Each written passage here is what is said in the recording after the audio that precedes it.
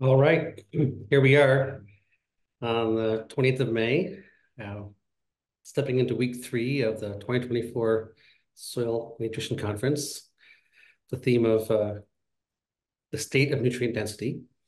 I've had a couple, I think, I can't speak to my personal presentation, but I really appreciated uh, Ken's last week and very happy to be having Mark Fredericks on today. Um, known him for a few years now. Uh, he's a, a, brilliant man from the Netherlands. Um, we're talking about game theory today is the best word I've got for it. I'm not sure if that means as much to other people as it means to me. My father was a, a board game designer and my brother and father talk about game theory. And so I never really understood it until talking to Mark and uh, you know, the real, the, the deep, the deep uh, implications of it as far as how we can envision structuring our society and culture well. So um, as is the pattern, we're going to have him speak for the next hour, and then we'll have panelists engaging. We've got a we'll have at least four other people on the panel here today. Um, and uh, yeah, always uh, put your your questions that you'd like the panel uh, or Mark to answer in the Q and A section, and your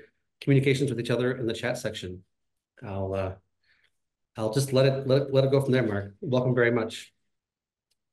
Thank you, Dan um, offering me this opportunity to um, tell you and the others a bit about me, my journey, and um, how we met. And um, I was absolutely inspired um, also about meeting you during, uh, well, several visits in the Netherlands and um, exploring the world of uh, nutrient density and the true value of food.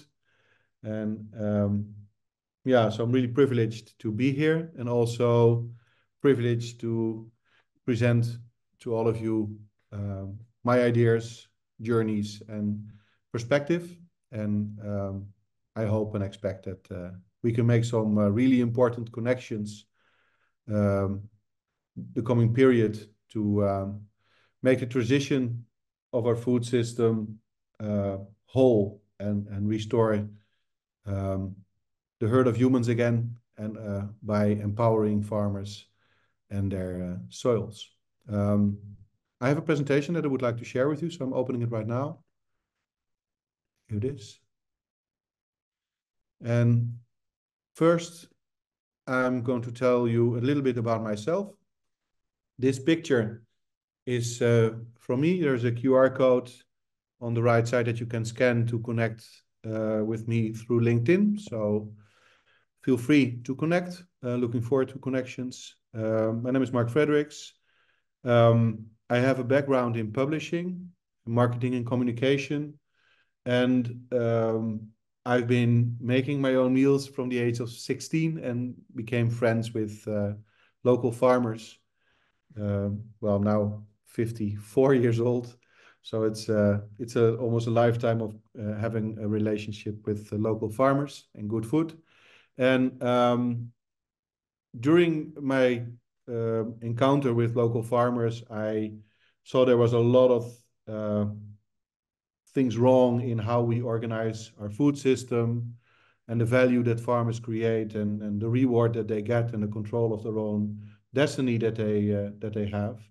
Um, coming from a, a, father that was a union leader in the Netherlands, my grandparents all were in the Dutch resistance during the Second World War. So um, seeing all these um, yeah, troubles around the farmer making ends meet made me mad in the first place. But then uh, being mad just costs you a lot of energy. It doesn't bring a lot of good.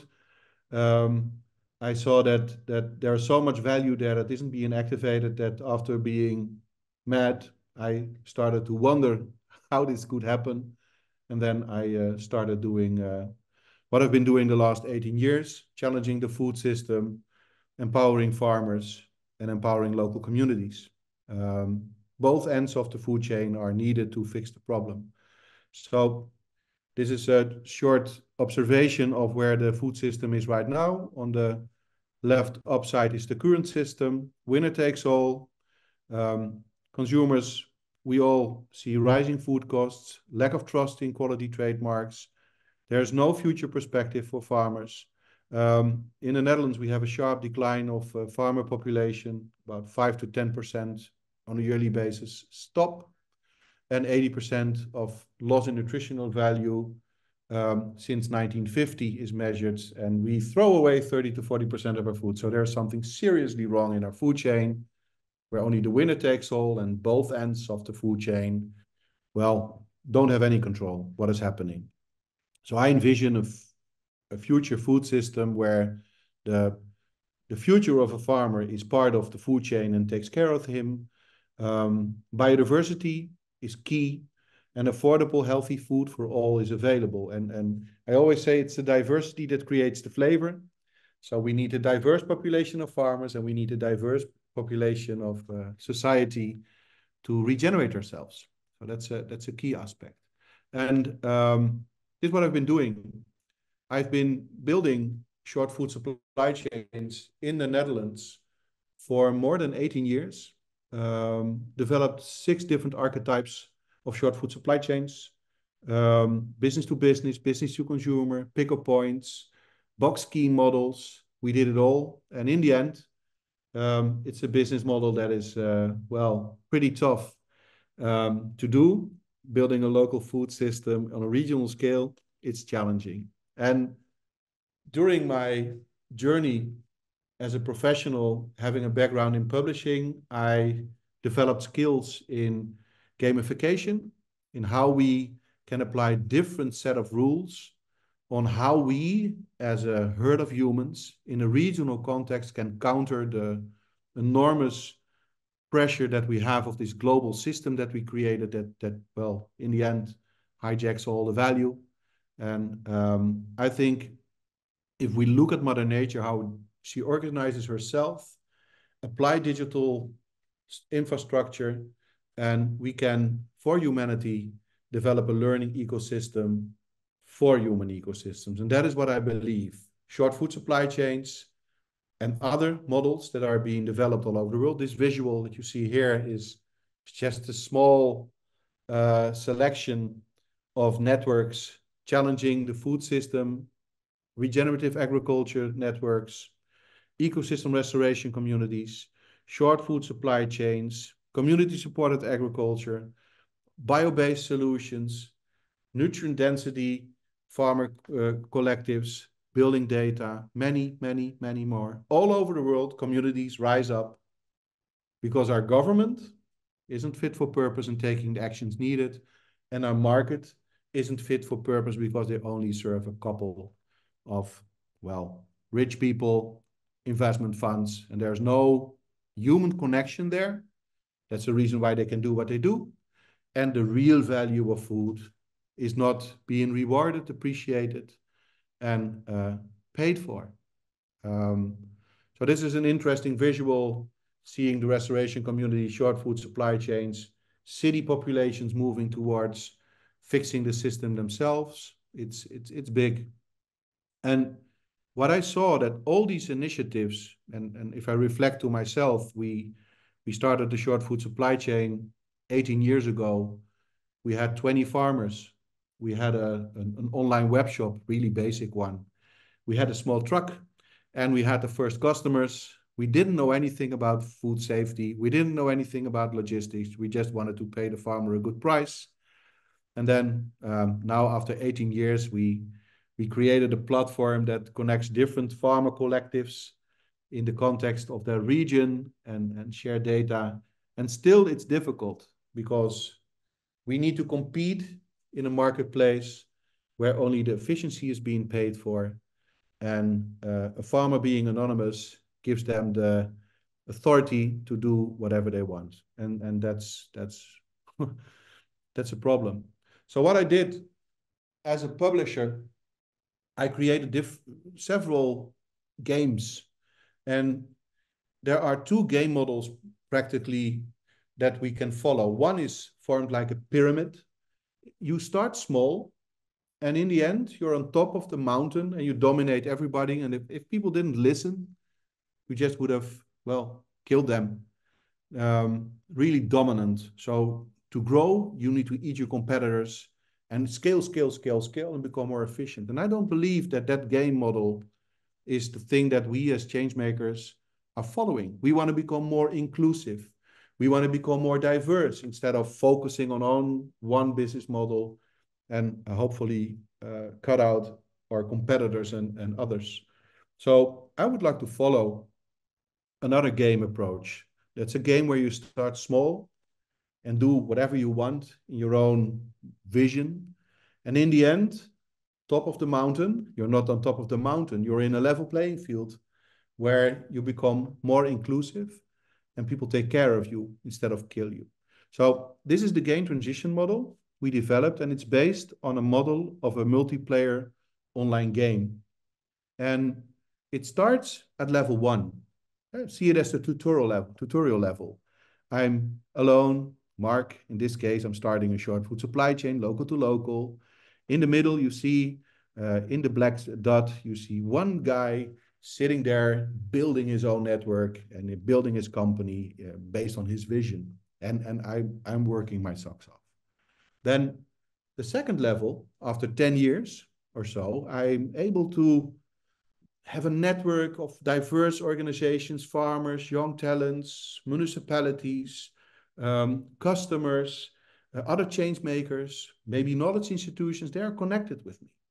And in the middle, I'm still the guy doing it and challenging it. And, and well, in my case, I was uh, carrying around about 800 different products from, in this case, 50 different farmers with really complex logistics and, and well, customers were willing to pay a little bit more for my product, but not that much that I could really invest in in a new food system, regenerate soils, and and really create a marketplace because I didn't have the margin for marketing. So what I needed to do in the in the marketplace where we dominant, where we need to either competitors to scale, I would have got an investor in and and get money and grow, grow, grow, grow, grow. I didn't take that course, and I looked at okay, every time as an entrepreneur with a, with a really um, uh, with my business model not really fit for the next challenge.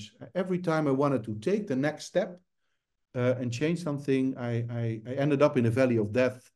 They call it in business. So no margin to invest in marketing, no margin to optimize my technology, no margin to to scale up my my business.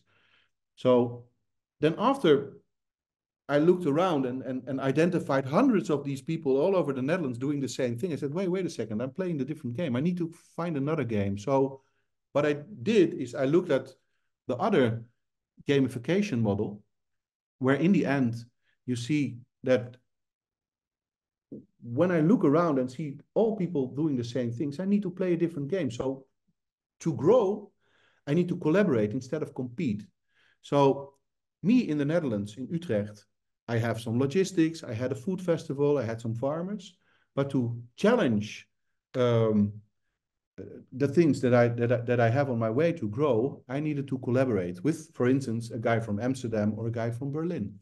So instead of doing it myself, I needed to enter a space where I could co-create. Call it a dungeon. I call it a challenge room, where we bring together our inventory, our data sets, our logistics, our technology that we developed, our expertise, co-create a solution. After the solution is being developed, we can put it in our collective inventory and then be our own selves in Utrecht or Amsterdam or Berlin or even in Massachusetts. Um, and this, this is what I learned and experimented for a lot of years. And I see that it's working. And on the fourth level, you see that um, looking down from more like an holistic point of view on every step, individual level, regional collective level, and co-create between regions, that you're designing the game rules for how our, our, our economy, but also how our um, governance is being modeled. And we have been implementing this model in the Netherlands the last 15 years with success, especially the last five years, started before Corona and now scaling up. Um, looking at we have been doing from local to local and AMPT. Uh, AMPT is my consulting company that develops gamification models, uh, regional food strategies and technology, and local to local that sells local products. How do I make money? And based on this gain model, you have the same levels in the business model that we developed. So at level one, individual uh, organization, and level two, we activate short food supply chain networks and we sell, in this case, local uh, products, and we have a fee in the sales or a margin in uh, the market. If you look at level two, the region and the interregional level, in this level with other regions, governments, and uh, uh, networks, we create services. So we have software as a service, we have different uh, gain models that we can share, we have resources that we can share, we can share spaces. So this is a, a additional business model that we collectively between regions can explore and develop. And on the fourth level, we apply for grants for developing blockchain and bridge the uh, make the bridge between entrepreneurs and universities, but also uh, address the front runners, the leaders in the process uh, doing so. There's one important thing that I didn't address in the previous slide. And that's it, that is the, the clash of egos. And after 18 years working on different startups um, that, that are basically challenging the system and not having the systemic solution to do so, there is a, in the bridge between level two, having your regional network around you and taking the step into this co-creative place of level three, there's always um, something as, okay, I, I built this myself, this is my dream. And to let go of part of your dream, going from level two, your community, entering an open space to co-create, that's a difficult phase. And what you see if you don't offer the leaders that are started uh, this movement, the business, or this initiative, you don't offer them perspective to grow and scale themselves on a personal level, they well it's pretty hard to to collaborate with them if you don't offer them the perspective so in this model in the end every individual that is active on level one can grow or develop himself to level four in every direction so it's an open space well um, having this theoretical framework of the multiplayer online game where you collaborate instead of compete we said, well, okay, this is a theoretical thing. We understand that is uh, there's something really interesting here. Um, we looked at, okay, can we develop a roadmap where we step by step go from level one, individual, to level two, co-creation, to level three, convert into this open space of co-creation, and then speed up and putting it in the in the market and create value together. Um, we started just before Corona applying this roadmap. And the roadmap, also four phases, um, was be implemented in the metropole region of Amsterdam. And what we did is the following.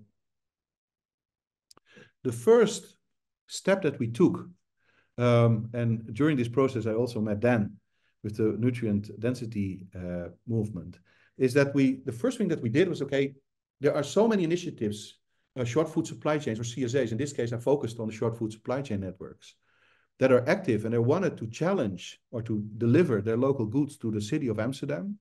That, uh, but there none none of them was on a professional level to really scale and speed up.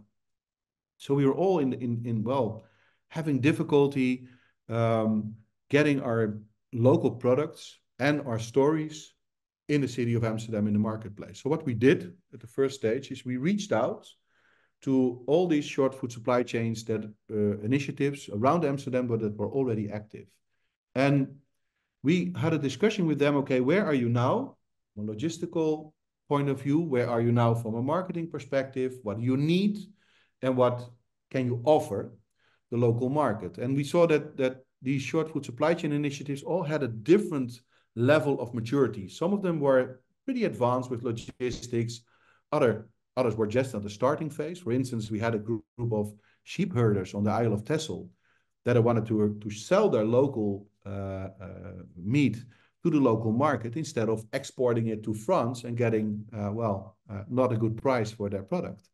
Um, so the first thing what we did is we, we met with them and we optimized their first mile hub just focusing on logistics, getting the assortment in place, and make sure that the collaboration between them was on a standard that we could work on them. And we asked them, what do you need? And we saw, this is in the, in the green box, they wanted sales, they sell the products. They were looking for certain expertise, and not always expertise on um, selling products, but they also had questions about food safety. They had questions about marketing, storytelling, social media, data, etc. And so we're looking for specific expertise. They wanted logistical support. They were looking for workers, and especially in the Netherlands, and well, during Corona, it was a big issue. We we have all uh, uh, kinds of workers from Poland and other parts of the world to do the hard work, and uh, step by step, less of them came to the Netherlands. So there was a problem there. The, the average age in the Netherlands at this moment is 47 years old. So not a lot of young people. And the people that are young are not willing to do the hard labor on the farm. Um, and they needed funding because the, the bank was not open for business for transforming our local farmers to a local market or to regenerative or, or, or organic farming. So there, there was an issue. And this is only the top five. There were 30 different uh, uh, parts that we were looking for. And second question we asked them is, okay, and, and what could you offer your local community? Well, the first response was, hey, we have food, so let's do that. And a lot of them said, well, yeah, they, are, they want uh, biodiversity, so we can work on that. Um, we can store water. Eh? In the summertime, it becomes really dry here. And in the wintertime, probably we have too much water. And hey, we're in the Netherlands, so if you're in Amsterdam, an average level of four meters of water is on top of your head as soon as the dikes break. So there's a thing there.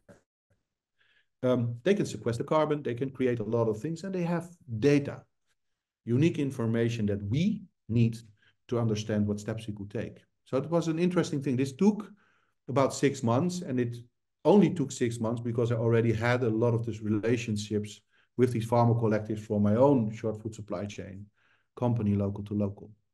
Um, the second step that we took was still before Corona kicked in, was that we said, well, okay, if we have all the logistic hubs uh, at the same level, we understand what we need and what we're looking for, let's get our logistics in place and have an IT platform where we can share assortments, uh, share products. So in the end, we, we ended up with 3,000 different products in one platform from uh, dairy farmers, uh, organic farmers, even some local fishermen, put in their products in the web shop and we organized the first mile hubs and what we did is we fixed the city hubs around the city of amsterdam and collectively made a contract with a delivery service that did electric uh, transport into the city because well it becomes mandatory step by step the coming few uh, years so we did it already and then it was all set corona hit and um, this, this was really big. So we were all there, 350 farmers, seven different organizations, that all these investments, and poof,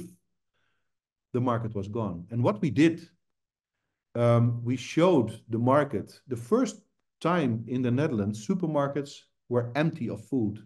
So it showed the vulnerability of our globalized food system, even in a country that is the second exporter in food in the world. So, hey, Nobody understood what was happening. But within a week, us as a collective of short food supply chains with our logistical partners started a rescue uh, mission on having fresh vegetables and fruits and meat and bread and eggs for communities in the city that were not able to buy food because they didn't get money, were out of work, or didn't uh, were afraid to get out, out of their house we, we, we delivered 70,000 boxes to people in need within a week. So we were really adaptive and showed the force of when farmers and local communities connect what we can do. So that was epic.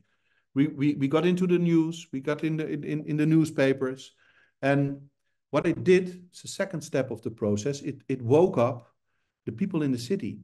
So with this action and all the publicity that we had, um, the municipality of Amsterdam, universities, student communities, cultural uh, uh, organizations, venues, transition specialists, neighborhood initiatives, they all woke up and said, hey, this is interesting.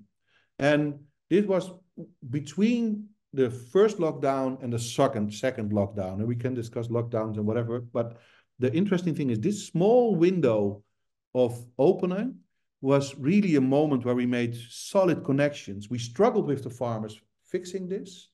We opened up the eyes of the city of Amsterdam and everybody there. And we had the time to really had a deep dive with them of say, hey, you see our value now. And what are your needs? And these networks, also in the green box uh, in the middle, they said, well, we want to have healthy food. Um, difficult question because in the definition, uh, legally, there is no definition of healthy food. We all know what it is, but hey, we have a government that is not putting the check boxes in the right place now. They wanted to have a green and beautiful landscape. They wanted clean water and air. They wanted to have a positive impact with their consumption. And for a lot of young, talented people from the universities and schools, they said, I want to have a meaningful job. I want to be part of it that is something that is valuable. And these farmers give it to me. And then the question was, okay, you as a city and a network of change makers, what can you offer uh, the farmers? Well, they said, we can buy the product. We can have give them expertise. We can help them with logistics. Hey, shit, we can do the work as well. And, and, and we have money. We can help them with funding. So if the bank says no, we say yes. Interesting perspective. So First, we made an analysis of the farmers. We organized themselves to get at the same level of, okay, maturity to start uh, uh, doing the logistics. And we didn't add something new. We just combined what the other collective already had and onboarded the others in it. So that's what really basic, but they kept their own identity. And after doing this in the city as well, we did another exercise. And that was between the second and the third lockdown because the, the second lockdown was already there. We started delivering food. We just did what we did and, and, and had a bigger engagement with, with the community, a, a more robust engagement. And we got some subsidies from the city of Amsterdam to, to take some next steps. Is that what we did is between the second and third lockdown, we had in-depth sessions with the farmers and our local communities. And we just looked at, okay, the needs and offers of the farmers and the needs and offers of our local communities and networks, how do they match? And and we came to the conclusion that that that it's it's it's it's all there. So what we did is we had some um, campaigns. We we we salvaged um, like 50 cases of broccoli, and then these these like cubic boxes, um, thousands of kilos of of of beets, um, apples, and we, we we just engaged with the community and created new new products with with uh, uh, the products that were left over and were not being sold by by supermarkets or with with restaurants. And after doing this matchmaking with a couple of in-depth sessions, is we came to the conclusion, and this was epic, that it's already all here. So we already have everything if we collaborate on a regional scale and we look at the, the needs and offers of farmers and our local community, we are able to transform our entire region.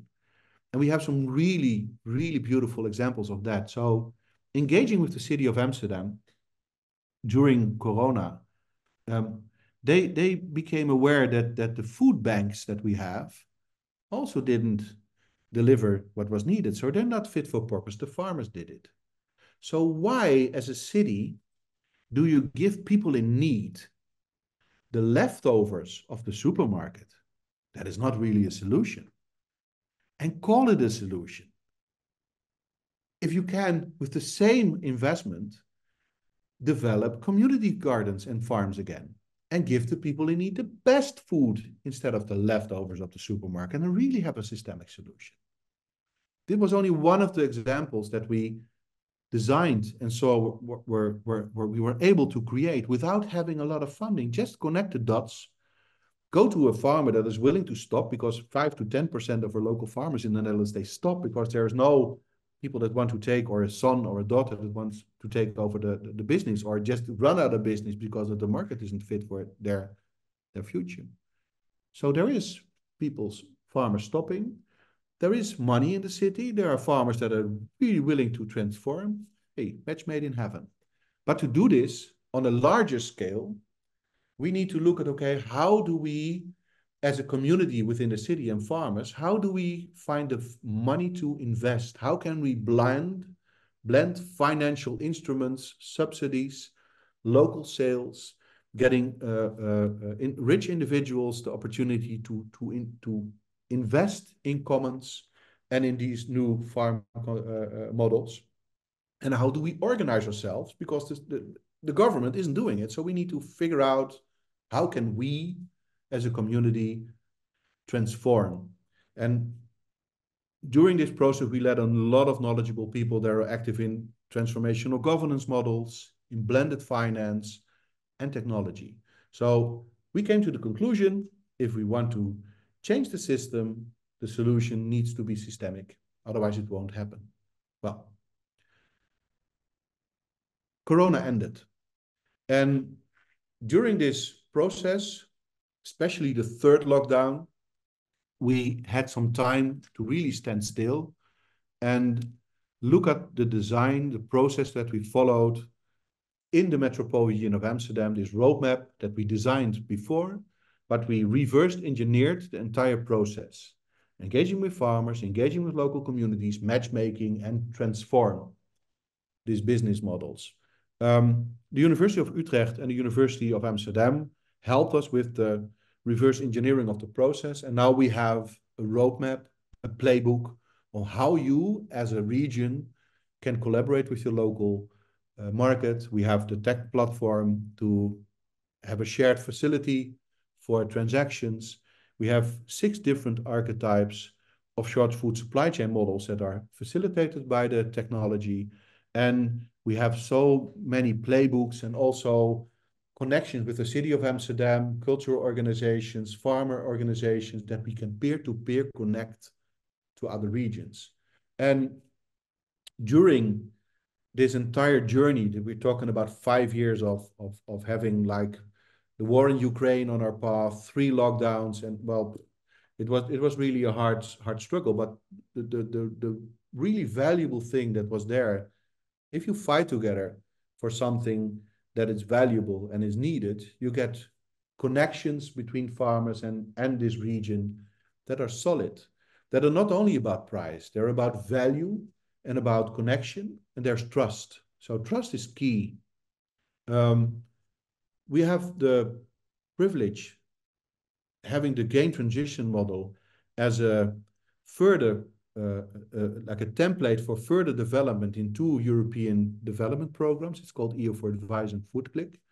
Both uh, focus on the transition of our food system and enables us to create um, processes and structures to co-create with other regions. So it's from the European Commission. It's, it's a project that runs for five years. And we created the Data Value Center Agri-Food, where we focus on technology and how can we, from a commons perspective, share data.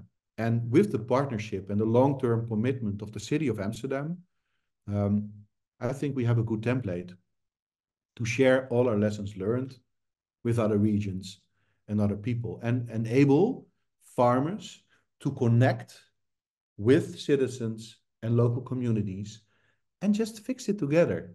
We don't need governments. Yes, we need them, but not in the lead and we can create our own marketplace. So that is basically what we did.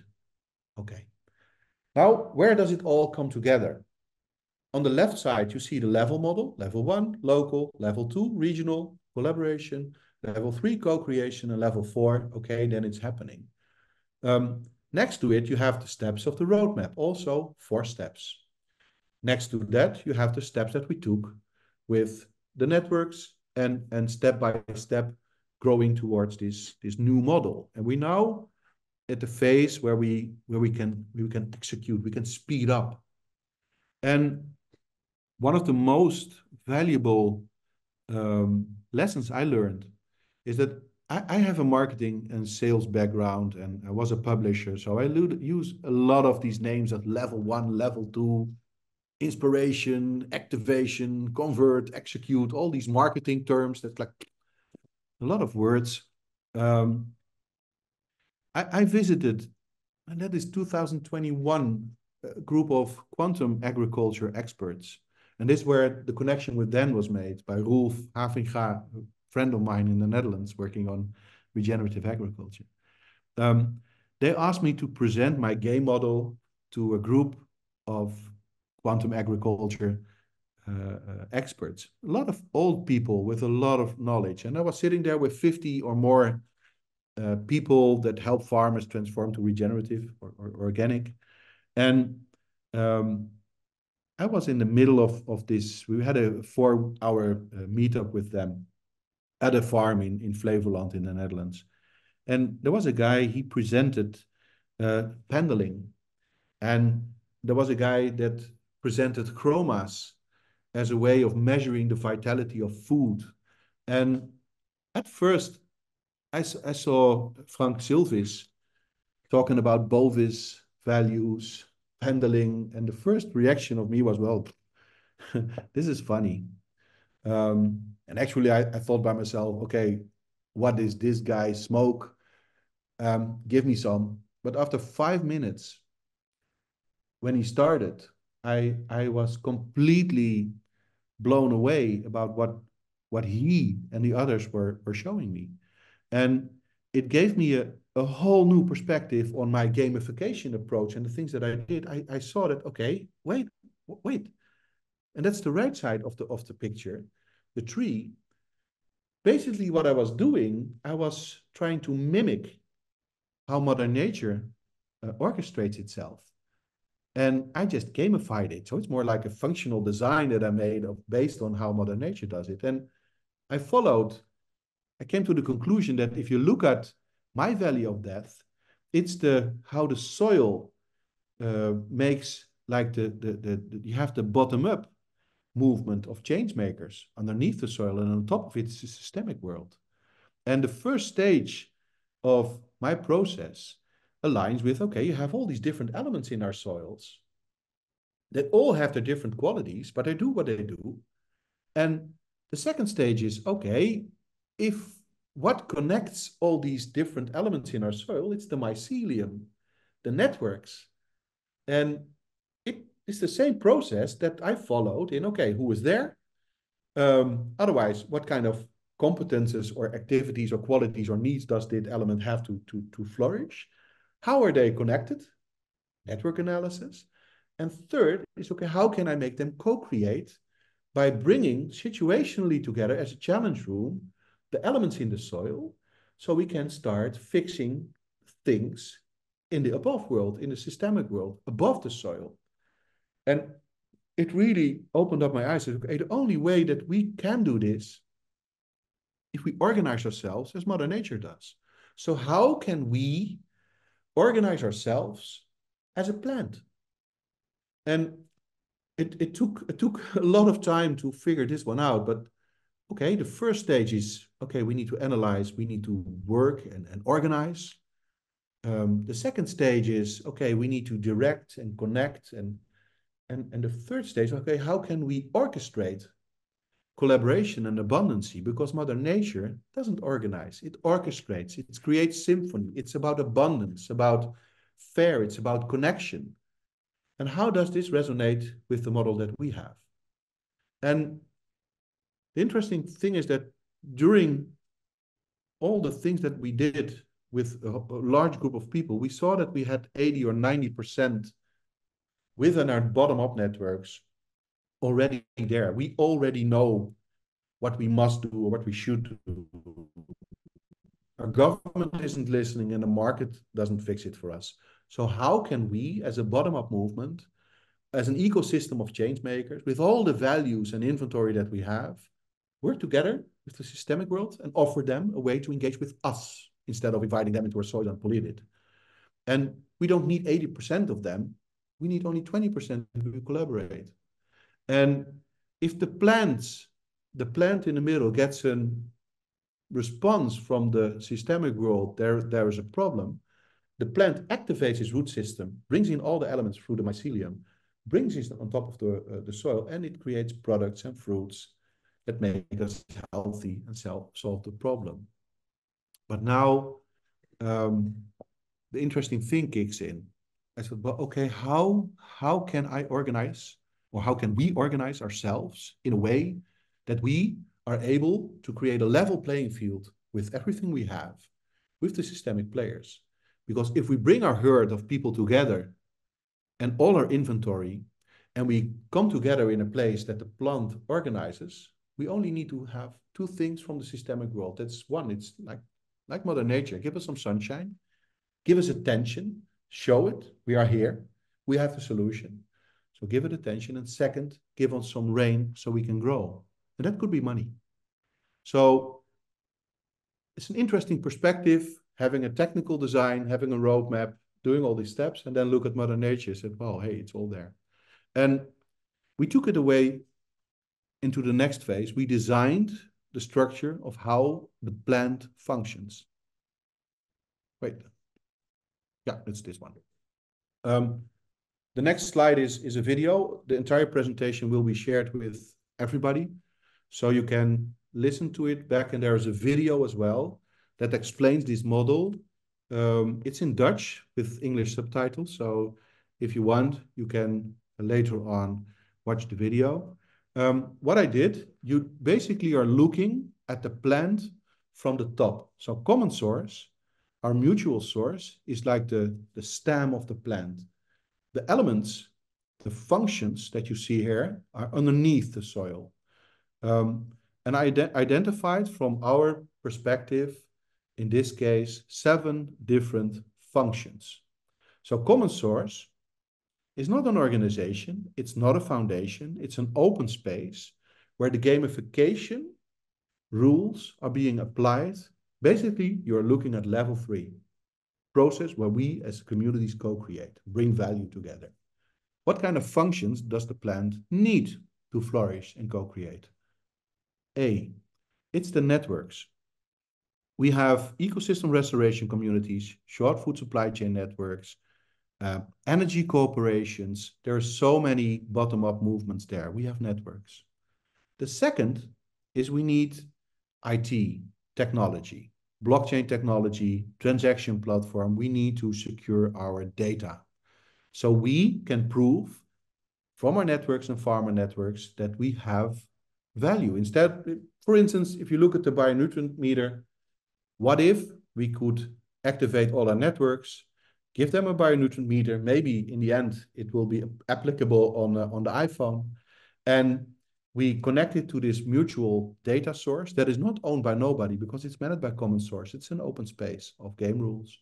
And we collectively uh, organize our marketplace in a way where we make ends meet between our farmers and our city inhabitants. And whenever there's a problem there, we have the networks, the data, and the rollout process, in this case, our marketplace.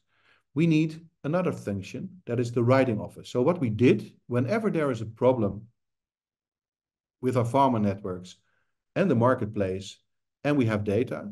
We look at, okay, what kind of problem is this? We need to analyze the problem.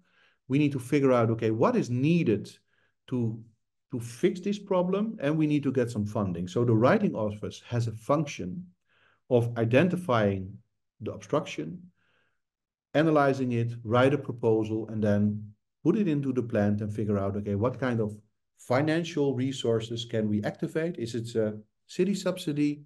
Is it a, a, European subsidy? Is it funding from our consumers? Can we pay it with the transactions in our short food supply chain network? Yes or no? Or maybe we can find some investments from other NGOs to fix this problem and develop it. But most of these projects, and that's an issue as well, they just give funding for the first stage, for the startup.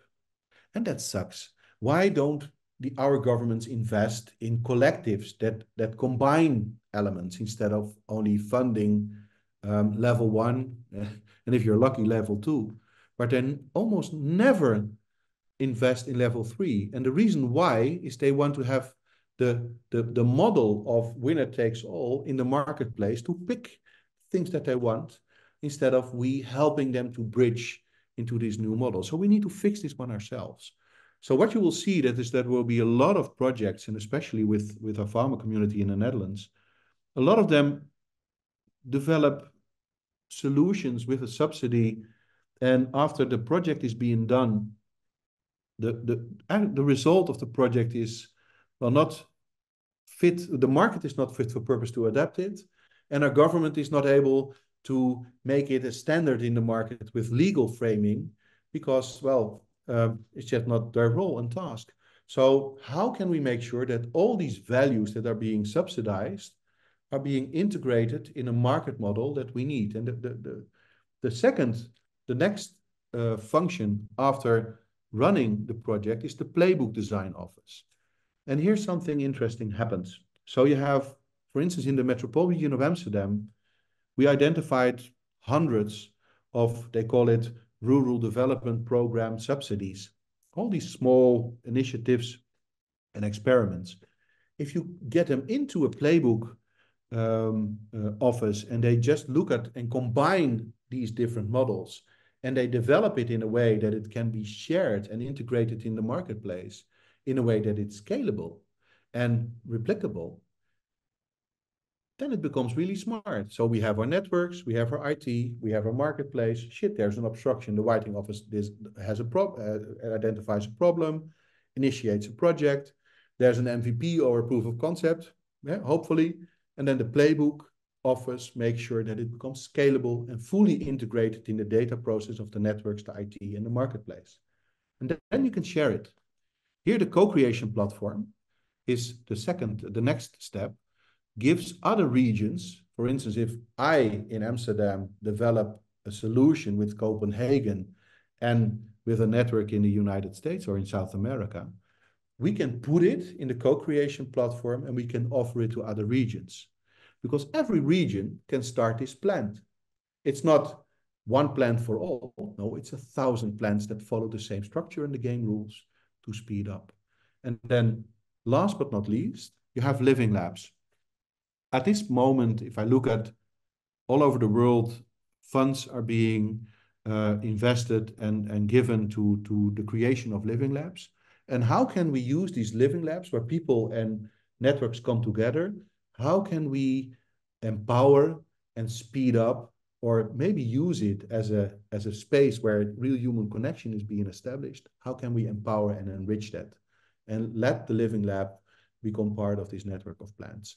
And this process from networks, data, rollout processes, writing office playbooks, sharing, living labs, is like an agile process of working together. Now, an interesting thing is how do I enter this process? How can I do that? Every function, every functionality has like these four steps inspiration. Okay, I am here. Second stage, activation is okay what do you offer? What are your needs? And what is your expertise? And how are you connected with the others? That's an analysis. Then there is a standstill moment between the activation and conversion phase where you really step into this new game. That's the conversion phase. So every function has one two three four steps to engage. We call these playbooks. So every journey if it's a network, it's a technical solution. If it's a market player, it's a knowledge institution. It's a it's a designer. It's a it's a it's a place where you can share. There's so many platforms that share. If even if it's a consortium with a living lab, they follow the same four steps before they enter this place of trust and value. So common source is a way to create a network of plants that function in the same way, apply the same rules, but stay within their own context. And there's no one brand, it's a thousand brands that can flourish by following this process. And I think that's the beauty of it. We need to create a network of networks for networks. And if we want to connect, in this case, based on this model, other farmers, we just connect our farmer network at level three, like the big function, with another network in other places. So here technology like blockchain technology kicks in. Um, this video explains it in Dutch with uh, English subtitles. So if you want to look at it, please do. The presentation will be shared and put online. Um, one of the key elements that we have, and I think with meeting Dan Kittredge, um, but also meeting other really knowledgeable people um, during our vital food meeting, like the meeting at the farm where we had all these quantum agriculture uh, experts there that have so much deep knowledge on the true value of food, the true value of nature, and how it functions. We, within our company, engage with, well, in this case, more than a thousand students in our 18 years of existence that were inspired by our farmers, by our local uh, activities, the events that we did, that they wanted to get into action. So the first stage, they were inspired about what we what we did and what farmers do. And my colleague Martin, he is in the in the audience as well. He he he really puts it nicely. I said, at the university, I learned that we are in deep trouble. But at the university, I learned to analyze, but they don't offer me solutions. And there's so many really highly motivated young talents that there's not a question if we have more than enough farmers for the future, we don't offer them the perspective to act. So what happened is after a couple of years, we had about 50 students that didn't leave our company. So we have a company of 10 people working there permanently, but we had 50 of them around our our our uh, office that that stayed. They didn't leave after becoming inspired and and really got their their hands dirty and work with farmers and seeing and observing. Okay, we learn at the university that we are basically in the shit, but if I listen to this farmer and I act, all the solutions are there. We can counter climate change. We can fix our, our, our health. We can fix our local economies. There are so many values and coming together that when they ins get inspired, they don't leave. They want to get into action. And for us, as a middle company like short food supply chain and doing advisory work, for municipalities, it was a big challenge because we were really, really enthusiastic and happy with students willing to help us and act, but we didn't, we couldn't offer them a proper job. We couldn't offer them the perspective to really get funding to to develop their vision or to onboard. So for us, it was epic. Um, and it's a big compliment, but it was also frustrating not having a solution for them to really come engaged. So Martin, my colleague. Mark, let me just interrupt for one second. Hmm. Mark, uh, you got seven minutes left for your hour, and you covered a lot of the a lot of the bases, but with only a couple minutes left. So how many minutes? Seven minutes till the hour is complete. Oh, fantastic! Thank you. Okay, okay just to... um, I'm always done, almost done. Yeah. Um, so what you see is these universities they teach them how well as he says, Martin says, how fucked we are. Um, but farmers offer them the opportunity to really take action and do something meaningful. So this is what we learned. And we developed, also in this case, a customer journey for young talents. The first stage, again, is being inspired. Just get into action. The second stage is, okay, you want to get into action, you want to do something yourself. We have a matchmaking structure there where talents get active. And uh, start engaging with local farmers. So we did hundreds of projects with them together. And then after having this first engagement with farmers, they, if they don't want to leave, we train them to really become a transition ambassador. So they learn about food transition, they learn about their networks, they learn about technology, and they really know the barriers and obstructions in transition. So the, they can be active in our network of common source. So what you basically see, okay, you're inspired, phase one. You want to get active, just do phase two. And if you really want to convert into common source, we need to train you.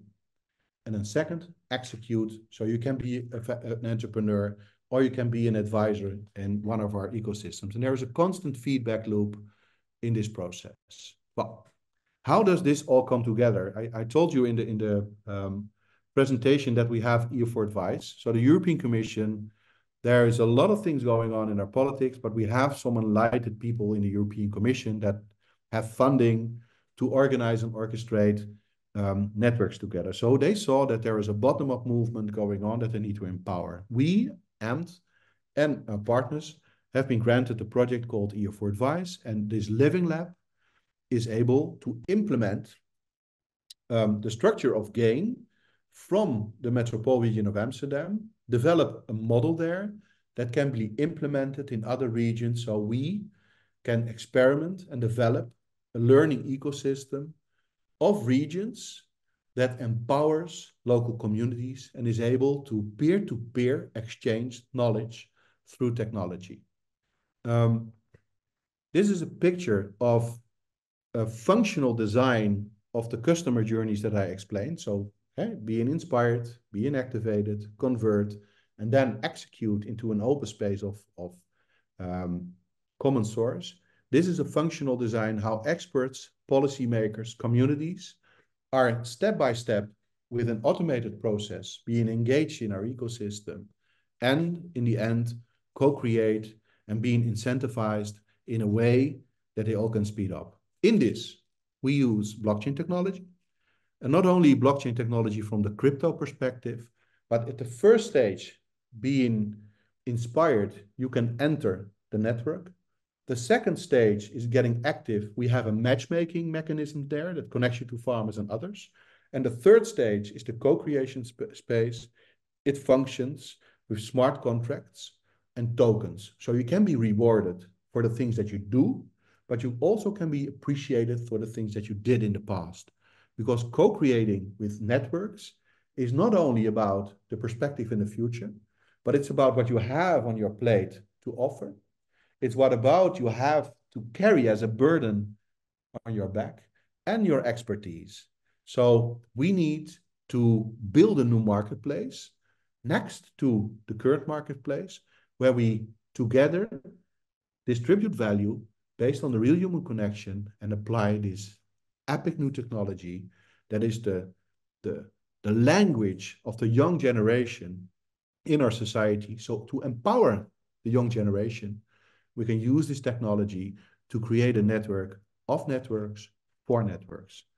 And my promise and my invitation, and this is the video that I shot in Dubai uh, where I explain the true value of blockchain technology in the perspective of enriching our soil, pay our farmer to do it, get the food on the plate of consumers, and measure the effect of them in their microbiome and on their health. And getting all these facts between the ears of our policymakers and say, okay, we are taking action now. It's up to us to show you the direction where we need to go. But we need to combine forces in a way where we create abundancy for all. And I think the farmers are there, the local communities are taking action, the technology to harmonize it is there, and I think Mother Nature shows us the way to do it. And yeah, hopefully we um, can do this together. Um, and it's all here. So the quantum uh, is bringing people together in a way and speeding up. So we are here for the process of re regenerating ourselves and our soil. So yeah, hopefully we can do it together. That's my invitation. So then. Thank you, Mark. that was completely brilliant. Um, completely brilliant. Um, I'd invite you to turn off your uh, your slides and then yep. the other panelists to turn their cameras and um, audio on. Uh, this is this is it's wonderful to have a, a nice oh Taylor's here wonderful great oh we we lost um uh, we lost okay um yeah so the reason that I have framed the conference I as I have so far, you know, to start the first week was sort of where are we, what have we done with the BFA and the framing of it all. Second week um, with Ken, I just wanted to get those points conveyed to anybody who's raising animals this year because I think that's a really very, very powerful piece of the puzzle. Um, But before going into any of the rest of it, I wanted to have you frame this conversation about um, game theory and strategy because that's how I'd love to um, support the process of the nutrient density movement. Um, this whole the theme of this conference is the state of nutrient density. Um, we'll be covering a bunch of things. We have covered some things, but I'd love to. I'd love to by the end of it, by by the end of August, have some pieces in place amongst our amazingly um, global attendees to begin to take some of these things forward. I just, I really, uh, when I met you and I really understood what you were doing, I was like, my God, this is such an important piece of the puzzle. And the opportunity to really scale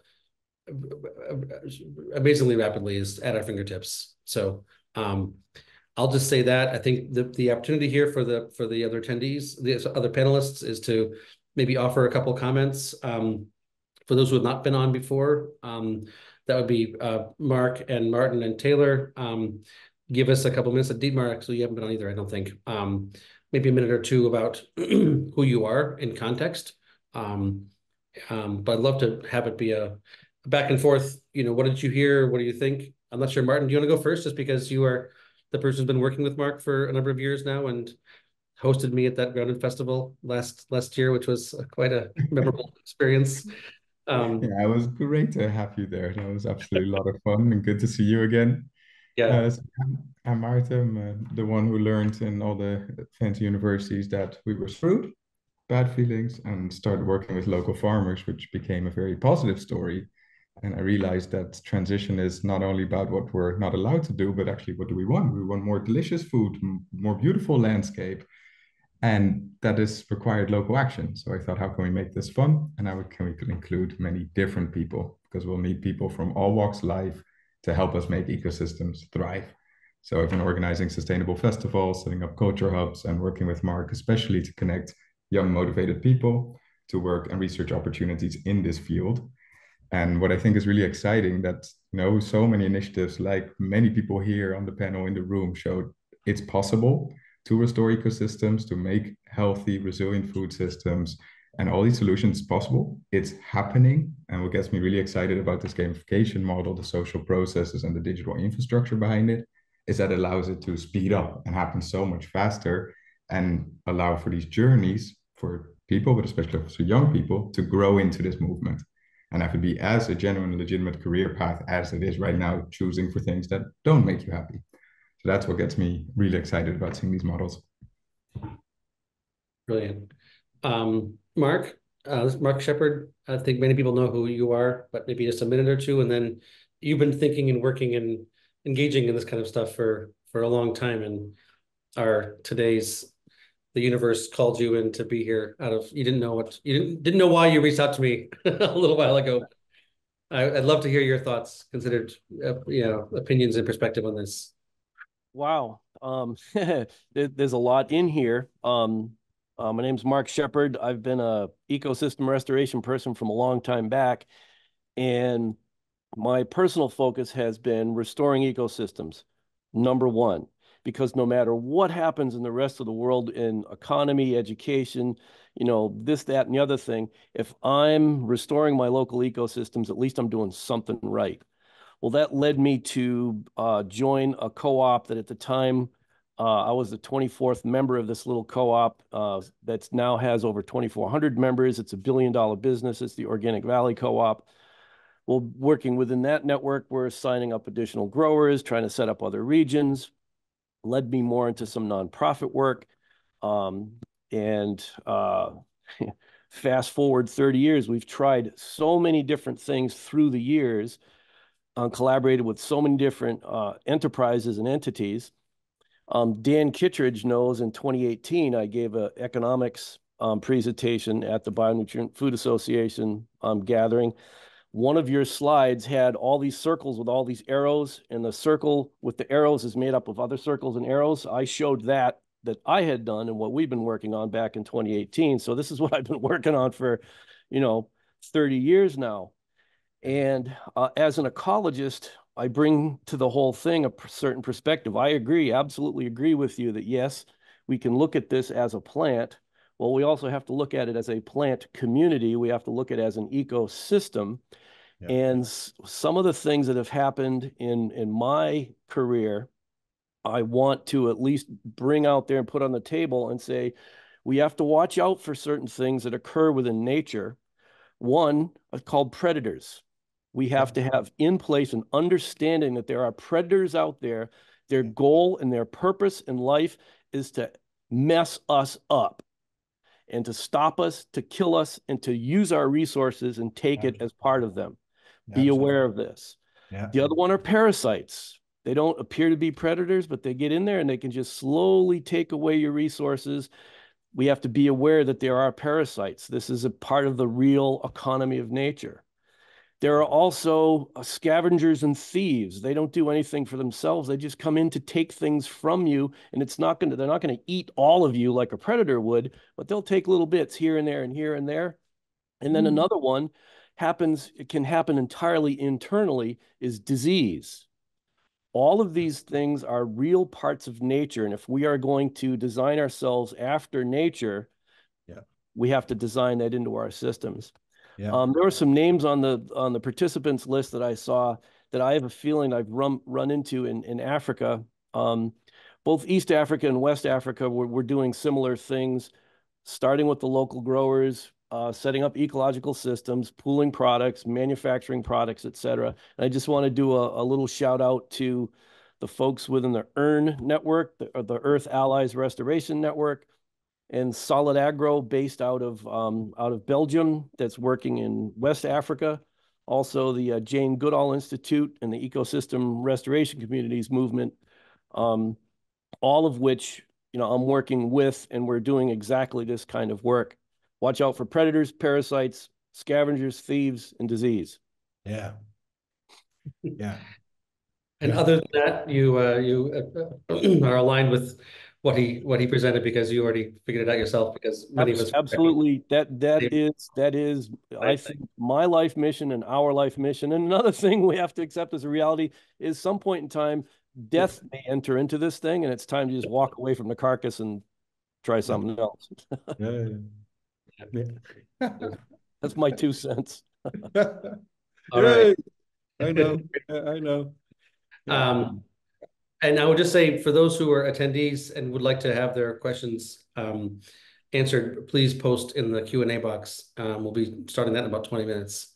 But until then, let's keep going through the through the panelists. Taylor, you're the new owner of Acres USA, which is a extremely storied enterprise. Um, and as I understand it, you actually got there through Mark's um relationship with Mark. So that's a important piece of this conversation, but you're, yeah, how does this, how does this uh sit for you? What what's what what comes up for you in this in, in listening? Well, thanks for the invite, Dan. Uh, yeah, for a quick intro, I I farm about 25 minutes away from Mark Shepard's farm. We're both in South Southwest Wisconsin. I actually run cattle on Mark's uh, awesome 110 acre permaculture farm, so I get to see his farm 27 years ahead of mine. Um, we planted 2,500 trees that are similar to the trees planted on Mark's place this uh, uh, year, and we're working through it. So I'm I'm no expert by any means, but I have experience in marketing uh, and business, and I'm excited by Mark's talk about mentioning gamification um, with these different systems, and you know it, it's one of the biggest marketing points that can be made and one of the bigger things that we need help with in this food industry is modern day marketing and getting our information and the markets spread throughout the world. So it was a great presentation, Mark. Um, appreciated your time and Dan, thanks for the invite and I'm excited to attend more of these in the future. Cool, great. Uh, Adrian and Erwin, you guys have been on previously. Uh, people know you a little bit at this point, but yeah, let's get everybody, get everybody to say something and go back and forth. Okay, you want to me to introduce myself again, uh, Dan, or just ask Well, a a question to Mark? bit. People kind of know who you are, but yeah, it just. it's- Okay, it's yeah. Well, Short, yeah. I'm a biodynamic grower from the north of uh, Holland, and I grow a lot of uh, vegetable seeds. And um, my question to Mark is: uh, thanks a lot for your presentation, and uh, thanks for the good work in uh, connecting us as farmers uh, more directly to the consumers with all these systems modeling. And um, I have a question. What is your experience with this quantum agriculture that you tipped on about? Um, it opened my eyes that that there are a lot of uh, things that have influence on us as humans that you don't see.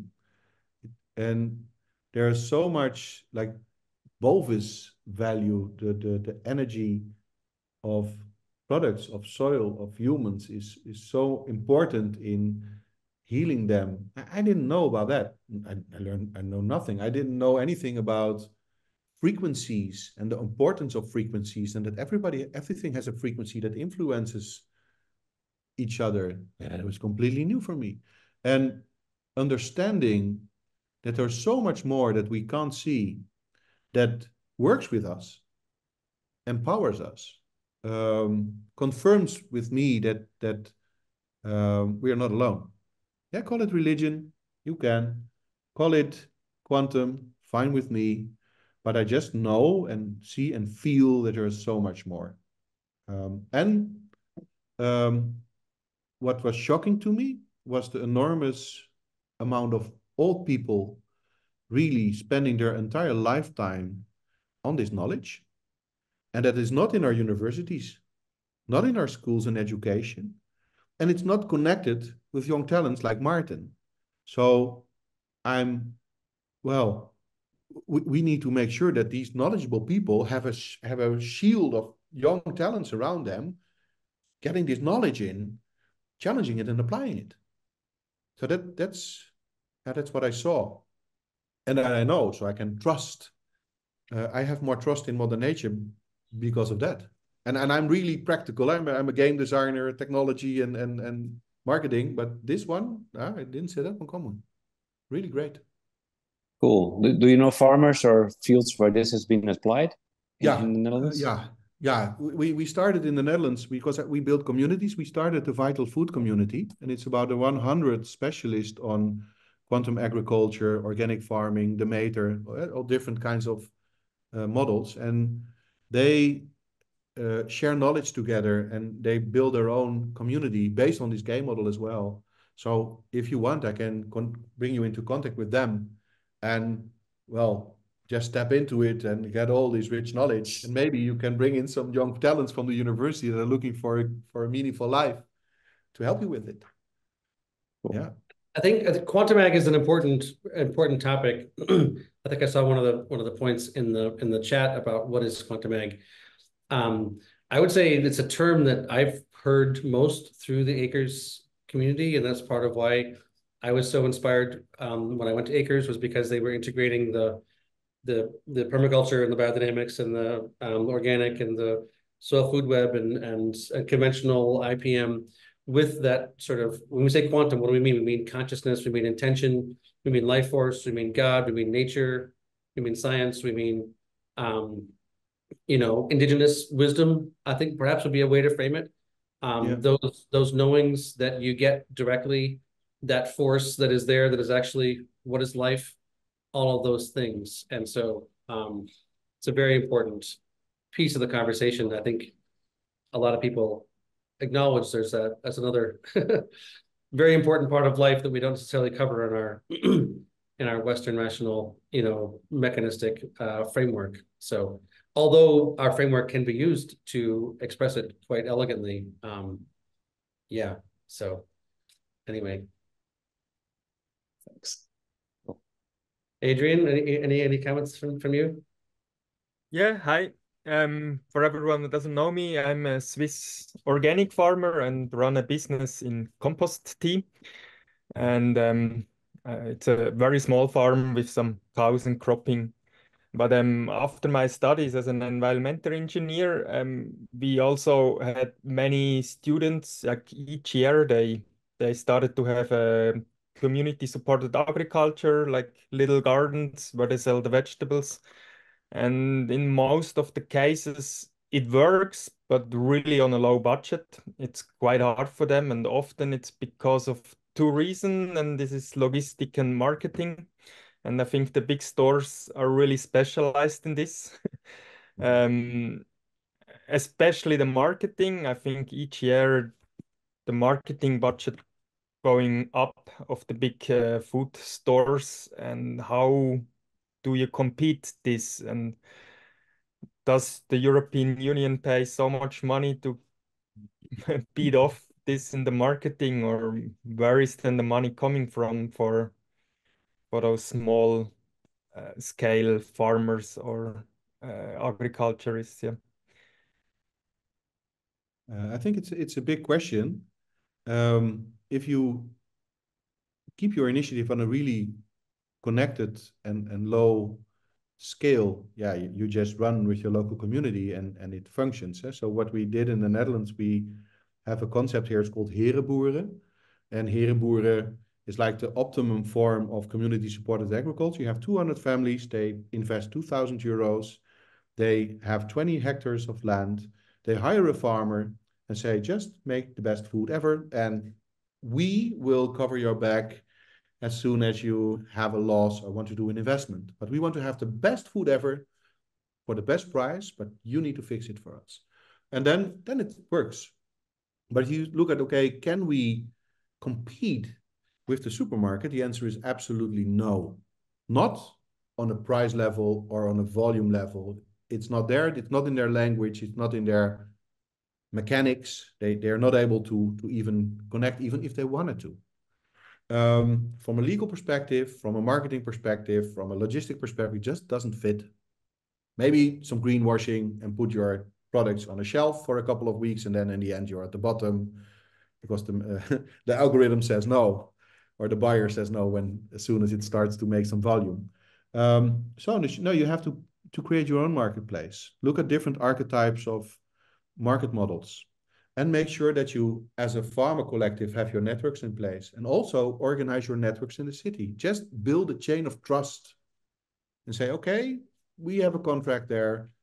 Can we do it together? Then i start growing your product. So in our journey we developed a reverse marketplace that practically is is a, is a crowdfunding platform for crops and and and products based on residual streams that that works. So you get a payment in advance. You have your your your your subscriptions or your your advanced uh, uh, payments, and then you do it. So I know that that that works, um, but you need to look at the different models and focus not only on the sales of products, but on the human connection and their needs, and then just fill in the gaps and get paid for it. And yeah, it it functions every time. I want to I want to be a, a, bit of a uh, what's it called um, devil's advocate. So I would say that there are a lot of um, people who buy food from supermarkets, and if we're talking about rapid transformation of the supply chain, um, you know, getting farmers connected to land, et cetera, um, trained, producing at scale is is a significant uh, challenge in the short term, and I don't see any reason why you know, some of us, I've sold tomatoes to Whole Foods in the past and gotten premiums for them. And I don't know why we couldn't necessarily be considering selling into supermarkets. I think the point about marketing and labeling and premiums and price identity and things like that, you know, just take a, a, theoretical, which is that we're, you know, we're working with um, Ken Hamilton, who's figured out how to produce meat less expensively, but also more nutritiously. And he's, you know, there are a lot of farms that have you know, that are raising chickens and 10,000 birds in a house or, or, or, or whatever. Um, you know, I think the opportunity to take nutrient density and meters and science and, and labels and, and regionally coordinating to get into those large supply chains. I think we have Sysco as one of the big companies in this country that, you know, distributes food around to hospitals and you know restaurants and and, grocery stores and, and and all kinds of places like they could we could have lines in the Sysco truck of quality and people paying for them as well. I don't think it. Well, I'm a small farmer and entirely in favor of all that stuff. all the grain for the wheat for the bread in Massachusetts is not going to be raised in Massachusetts, but being able to um, discern that it was high quality and and pick your pick and choose accordingly would be would be valuable. So Um, I, I, I would say, yes, hundred percent on the small local, but also, um, large parts of the world have big pieces of land with not many people on them where food is being grown. And yes, long term, we want to be getting an opportunity for people to be reoccupying the land, but, um, so that's what I was, a question exactly, but just a, just a, a statement. and I'll kind of pop in between the both of you guys is uh the organic valley part of me is we have 2400 farmers Yeah. uh and we all aggregate our product together that's all going basically into the mainstream markets including the big blue box in the USA Walmart Mhm. and how we individually make it work for us as farmers is we have to learn how to produce that product as inexpensively as as as possible. And so that's what led me, of course, to do things in an ecosystem mimic. And if you look at how an ecosystem operates, nobody pays anybody to do any any soil preparation, pest control, disease control, tillage, none of that. That's all mm-hmm. taken care of by natural processes. So if I design an ecosystem and manage my place like an ecosystem instead of a farm or an orchard, all of a sudden my expenses drop down to practically nothing. Well, that also means that my individual yields, instead of having 100% maize or 100% tomatoes, I only have 10% maize or 10% tomatoes because there's not enough room in a complex ecosystem like that for that much crop. And I'm going to get lower yields because of competitive effects. So where is that balance in the middle? That's where we as as farmers and permaculture designers come into play is we have to figure out how can I design a system that gets me enough of the efficiencies of scale so I can actually sell competitively into the mass market. Well, then also I've developed this system that has all these little niche products that now I can direct to consumer in the small market short supply chain. So I can do both worlds. Yeah. Yeah. Brilliant. We- The dialectic has been solved. Yeah. Um, Dietmar is on, and Dietmar's German, I don't, his, his English isn't great. Um, he will be presenting um, because of the massive value he has later in this, in this presentation. I think the plan is that Erwin would translate for him. I'm not sure how much Dietmar you've been able to get of the presentation, or if you have any comments, but I'd love to welcome your you to to share and ask questions if you want to say it in German and have Erwin translate. Um, that's yeah, practice for a future session. Thanks, Dan. Yeah. Mhm. Do you want to? Con- I'm not sure if he, how much of that He, he he sent me a text that his internet is really bad where he is. He's near the Czechian border. So I don't know if Okay, well, people can get to see his face at least, but um, yeah. I, I think Well, there, there's an interesting reflection on what kind of products do we as communities sell? eh? Is it only a product or is it data? Is it sharing value models? Is it expertise? So a lot of um, marketplaces only look at the sales of products, while all the values that we create and we can create are not in the marketplace, but we can organize them as well. So if you look at data sovereignty, um, we are working on a structure with local fishermen, wild catch fishermen, that their vessel and what they do. I see I see these these fishermen as the the only indigenous tribe of the Netherlands because they have like for seventh generation uh, roamed the oceans and and caught fish. Um, but applying data on their vessel and having this network of ships all around offers a, a new business model as well, where John Deere now hijacks and steals our data and use it to understand where the crops will be perfect and where not, so they can buy and sell where eh, they can divide the marketplace. I think that one is is a, is a key business model that we collectively could organize. Uh, But one of the key values that we're trying to create is the value of culture and community and love and harmony and multi-generational, you know, healing, right? I mean, all the business models are there, you know, because of the logistics of living life. But as far as I'm concerned, the essence of this is is to be healed in a much deeper way, spiritually, culturally, etc. Which I don't think with, but just want to emphasize. Yeah. All right, we have five more minutes in this, in this straight panel conversation. Does anybody want to say anything to anybody else? Doesn't have to be to Mark. Or just any other comments? And maybe to the other panelists, do you guys also feel this wave of young people that are just knocking the door and saying, I want to join this movement, I want to get involved? Yeah. I feel that. I feel that with our, I mean, that's one of the biggest things that we're talking about inside of Acres right now is how do we connect with the next generation? Selfishly, you know, I consider myself the next generation. Um, so I'm trying to, you know, our biggest thing we're doing with Acres right now is how do we take the information that we've gathered over 50 years and package it in a way that the next generation wants to consume it. Um, and I do think I, th- I think our my generation, which is I'm 30, so I was born in 93. Um, I think that if I think of people my age, they're very cynical of, of food and they're they question a lot, lot of things. Um, and, and, I think a lot of people know uh, what the current status quo is is not correct. Um, they just need to be given the information and directed to where they can buy things and and have the avail- availability with their budgets. You know, that's the biggest thing but the want that's is there. Fantastic, you know, because that's what it feels like. That's the local context. So there you're showing on your little island that it's that it's possible. It's where you can enjoy the good food, experience community in the tree, and that's a physical place where people onboard into this new system. And that's also how we see it. You know, these are all entry gates that can integrate human potential. And like Mark explained, onboard in almost this mycelial network to from there find their own way. Like, hey, I join the movement, and it doesn't matter after watching a lecture like this, get into the system, go to local communities, and from there deepen it. Something that often now we do manually, right? Have you checked out going an internship there? Have you met that farmer? Go get to work.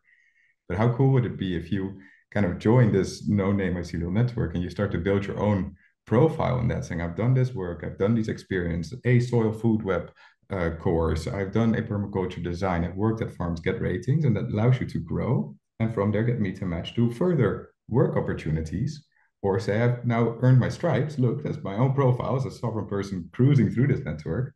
And maybe with that, you can easier access some startup funds to set up your own farm or community somewhere else.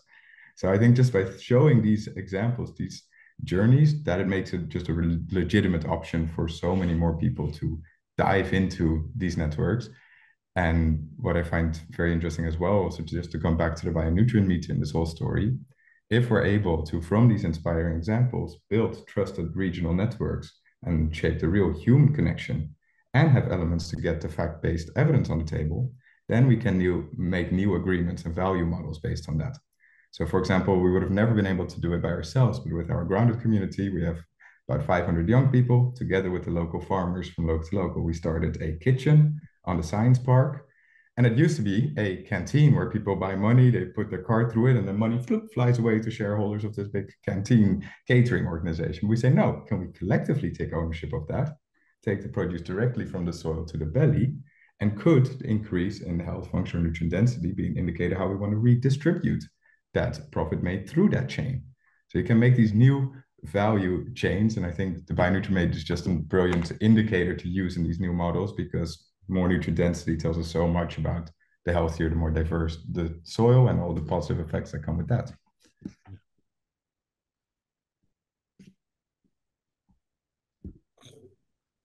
Any other parting comments, or we can move on to the to the Q and A with the audience.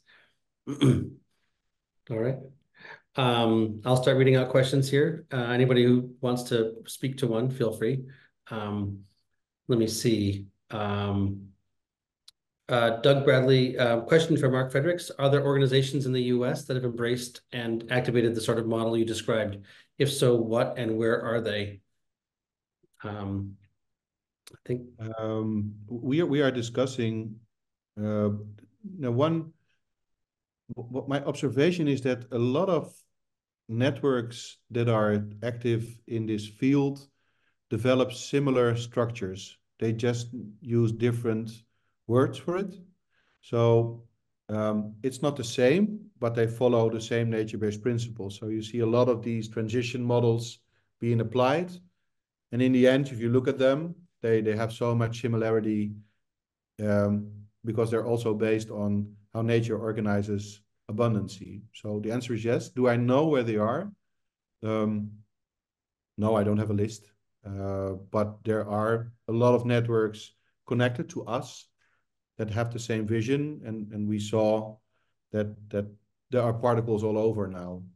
Um, there's not a repository, but we we can organize it if we want.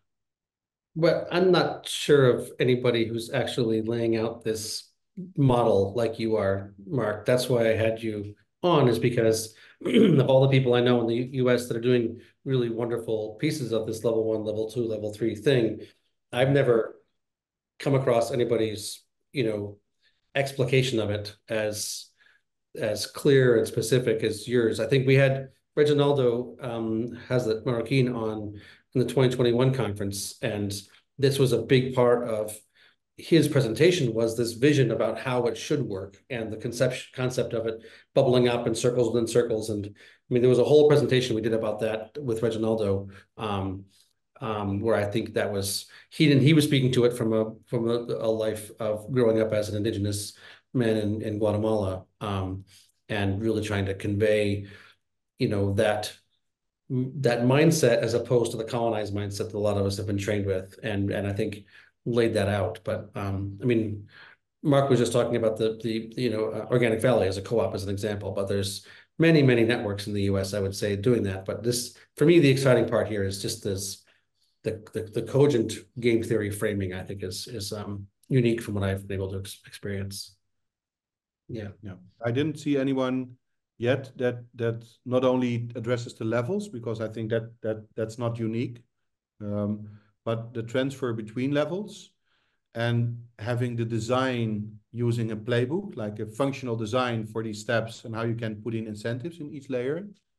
That's that's new. I I, I didn't see that as a complete uh, model yet, but yeah, it probably is because I, I saw that Mother Nature does the same. So um, but from a functional design, I think it's it's pretty unique. Yeah.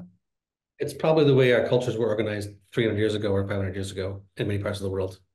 It's probably it's probably nothing new under the sun. It's just uh excuse me, going back to the uh yeah, more living systems model. Uh, okay, Amelia asks, um, hi Dan, who is Ken Hamilton? You mentioned he produces meat economically with a focus on nutrient density. That was last week's presenter, Amelia, um, Ken Hamilton. So you should have the recording. Um, and uh, yeah, feel free to feel free to dig back into that. But if his name didn't stick, that's that's who that's who that was. Okay. Um, Riza Resende, Super interesting, Mark. Thanks for sharing. If I understand correctly, you are using this framework to connect farmers to the city of Amsterdam and giving them the tools to sell their produce to supermarkets, shops, direct selling, question mark. I wonder if this roadmap could also be used to redesign the food distribution to hospitals, schools, for example. I mean, you already have been doing that. And I think that's a piece you actually didn't cover was, was, so tell us about, and doctors uh-huh. and how you're working with doctors. I mean, you really have a, that is a big no, piece we, of we, we, we within our platform with local to local and our network of short food supply chains, we focused on six different archetypes of local food systems. And one of them is business to business. And we focus on three markets, um, governments, education, and healthcare. Um, so education is universities, uh, municipality of Amsterdam, and in this case, the Central Hospital of Amsterdam. And within this, we also, so yes, we distributed local food, we collaborated with caterers, we came into the, the dark world of public procurement and all the, the bullshit that they're selling there. Um, and I think we we we nailed it because we created a network of universities and partnerships and, and the municipality and, and healthcare institutions in our network in Amsterdam. So we created a, a force um, that says, okay, we want to have local food and we want to understand where it comes from and what is in it. So that's a process going on. And in this, that makes makes it really unique. We also applied a roadmap, like a, a journey in that. So what we did is the first stage is also an inspiration phase. We sell local products through the caterer to the restaurant for instance, for the municipality of Amsterdam. That's the inspiration phase. We don't get a really big uh, paycheck or a large margin in that transaction, but it offers us access to the people working there. So the first stage is having a product in there with a sign of the farmer and a map and a QR code. Boop, you can get in. And the second step is after that the business is, is, is starting to pick up at the restaurant. We have like tastries with a farmer in the restaurant and we give them uh, the opportunity to fill in a survey. So we ask the people working there two questions. What do you want from your food system? And second, what can you contribute to your food system? And here's something interesting happens. We came to the conclusion in this engagement that 11% of the people working at a university or the city of Amsterdam was willing to pay or invest his own money in the transition of a farm. Hey, wait a second. So they don't really buy my food, but they're able to invest. The reason that we have so many students around our company was because they said, we want to be a volunteer in your system. So first stage, selling local food, being there visual with local to local. Second, have a survey, ask the people eating it, okay, I'm a farmer. How can you help me and how can I help you?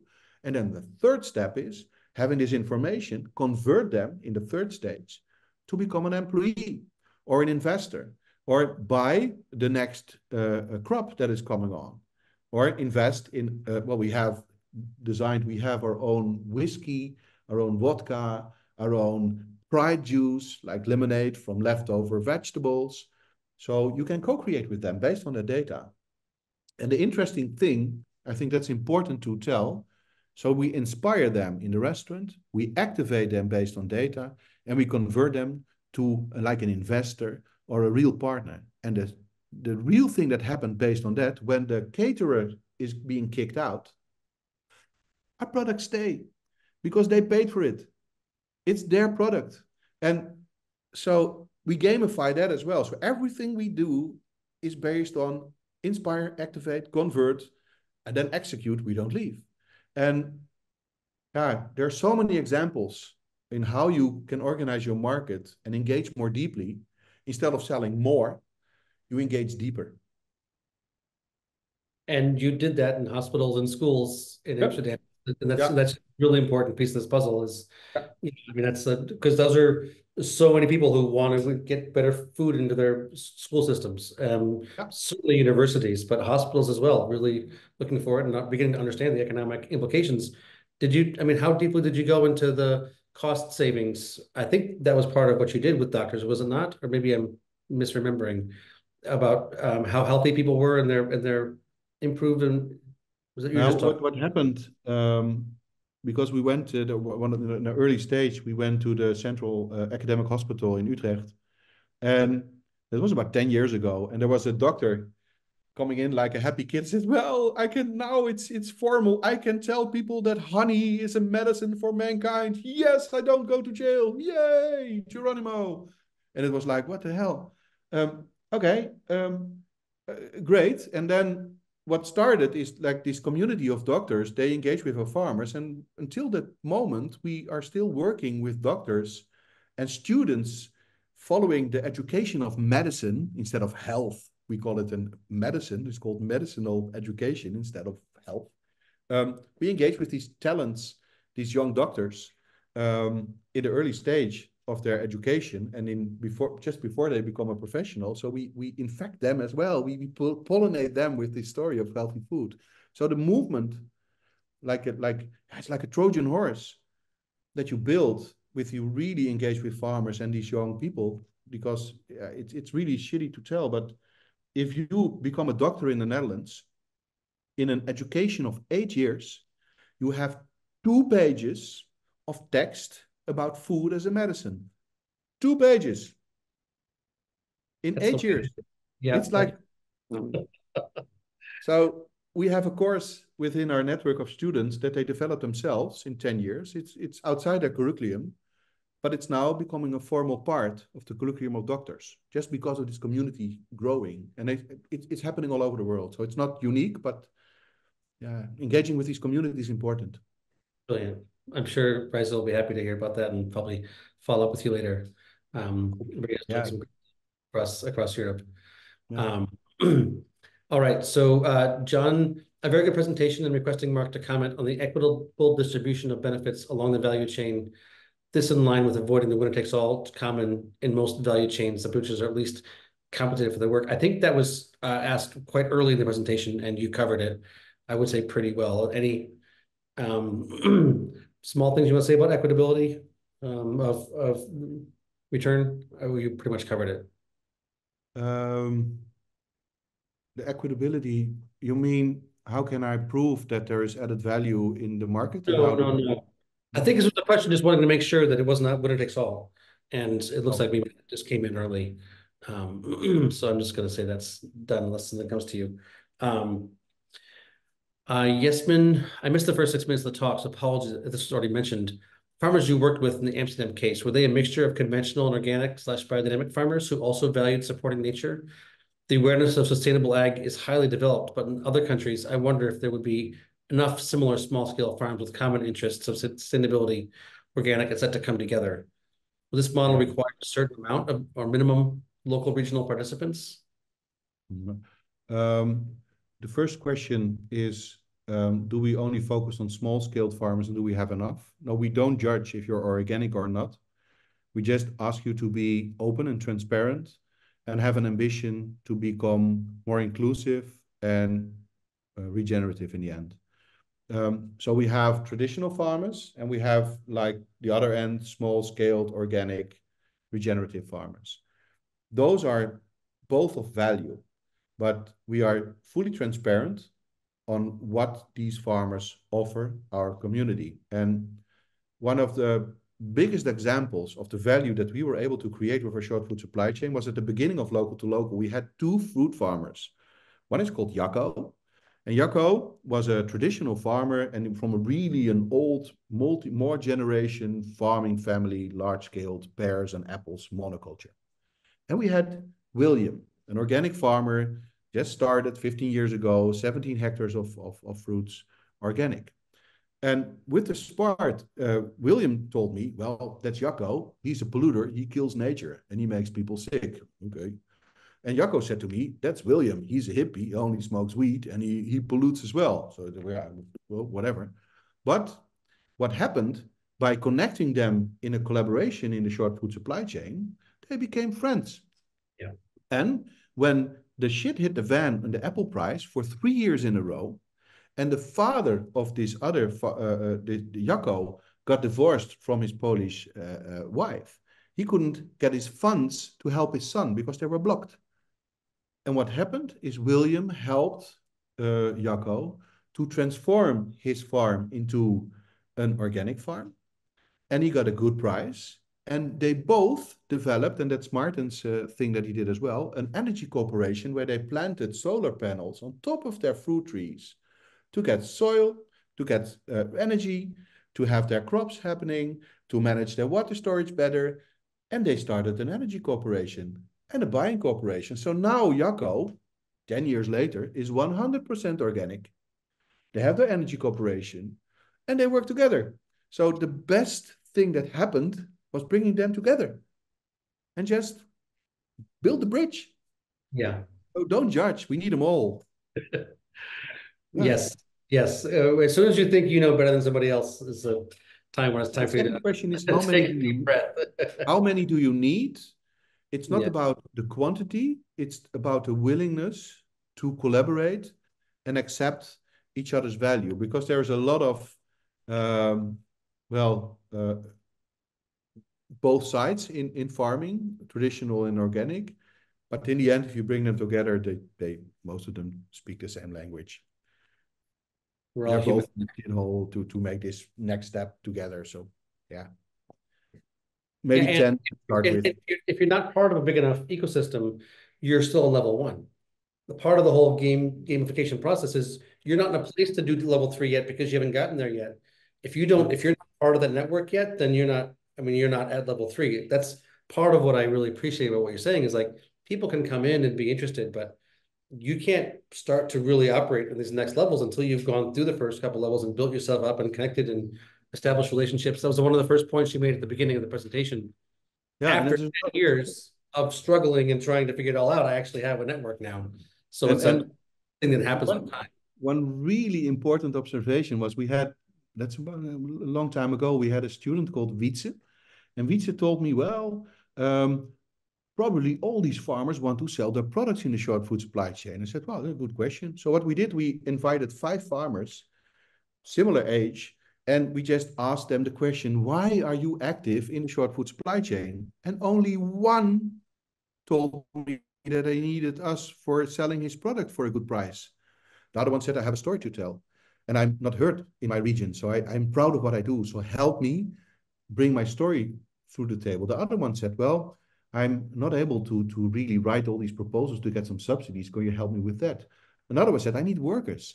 I can't find people to do the work for me. So can you help me get access to? Another one asked for knowledge. Yes, and one of them needed us to help him with selling his entire crops. That didn't happen. But if you look at the short food supply chain, the chain, it's not only a chain of selling products, it's a chain of trust, it's a chain of knowledge, it's a chain of data. So look at it, layer it up, all these values and chains.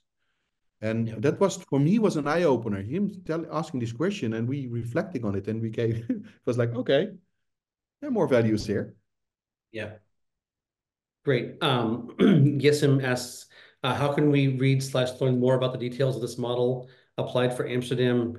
The, the, the slides are going to be available. Um, Yeah. recording, you got links that'll, I'm guessing they're live links in those slides. So when Yeah. People who are registered get the email following up with this recording, there'll be a link to the slides as well, which will have hyperlinks. Um, Yeah. and the video. Videos, hyperlinks, and if you need some more, just reach out. Brilliant. Cool. All right. Um, Sue, thank you, Mark. Great presentation. I'm sure we can all see our own or parts of our own journeys in your framework, right? For me, certainly. Could you tell us a little about the biggest challenges you faced at the various levels and how you overcame these? Uh, yeah, it's it's a big question. Um, the the complexity of each level is it that it is connected with the other level, and the complexity is not addressing the the entire uh, level play. So the biggest challenge in the beginning was was my business model selling local products, and expecting on level one to get a good price and a large enough margin to well to develop my online platform, to to to invest in logistics and do all these things. So the first challenge was was just having getting the business going and not knowing, well, nothing about selling food or or whatever. And the second one, um, that's more on level two, is how do you organize uh, collaboration? So I I I, I set up a couple of cooperations with farmers, and every time we got well in trouble because it's not about organizing the farmers. It's it's it's addressing all these different uh, expectations. So that was on level two really challenging. How how do i organize my network of farmers? How i do i address their needs? And um, well that was really really hard. It, it's it's hard to to gain trust from farmers and and make sure that you keep it. So um, that that was on the on the on, on the second level and then you have your traditional business challenges and, scaling up uh, and all the costs that come with it to deliver business to business, for instance, or have a business to consumer network uh, with all the food safety issues. Um, and on the third level of co-creation, really understand deeply how these different inventory, these different values like data, reach, expertise, how you can monetize it in the process of co-creation. We we made a couple of mistakes there, not addressing um, everybody's role in that process and be completely clear about, okay, listen, you're going to enter this co-creative space. You bring in your network, you bring in some money, you bring in some knowledge, and in the end, you will get this reward. So that managing that expectation was really difficult. And on, on level four, like the level of principle steering.